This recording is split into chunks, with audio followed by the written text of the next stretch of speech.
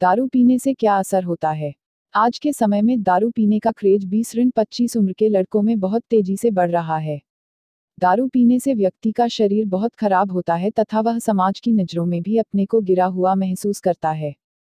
पहले तो व्यक्ति दारू शौक के लिए पीता है, लेकिन एक दिन यही शौक उसकी आदत बन जाती है तथा कई बीमारियों को जन्म देती है।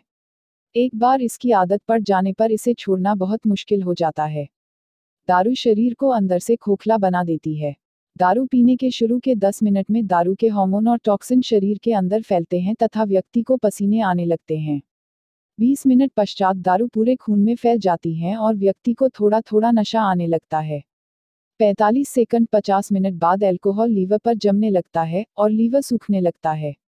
व्यक्ति को प्यास अधिक लगने लगती है तथा इन्हें इस समय पानी नहीं दिया जाए तो यह तड़पने लगते हैं। समय व्यक्ति फुल नशे में होता है तथा उन्हें यूरिन जाने की ज़रूरत पड़ती है। यूरिन जाने के बाद नशा कम होने लगता है। दारू पीने के बाद में व्यक्ति अपनी हकीकत बताना शुरू करता है, दिमाग पर कंट्रोल नहीं रख पाता है। जिससे कई व्यक्ति उस व्यक्ति से घृणा करने लग जाते हैं। इस प्रकार दारू स्वास्थ्य के लिए हानिकारक है। कैसी लगी आपको हमारी ये वीडियो ज़रूर बताएँ और आगे भी ऐसी वीडियो सबसे पहले प्राप्त करने के लिए अभी सब्सक्राइब करें।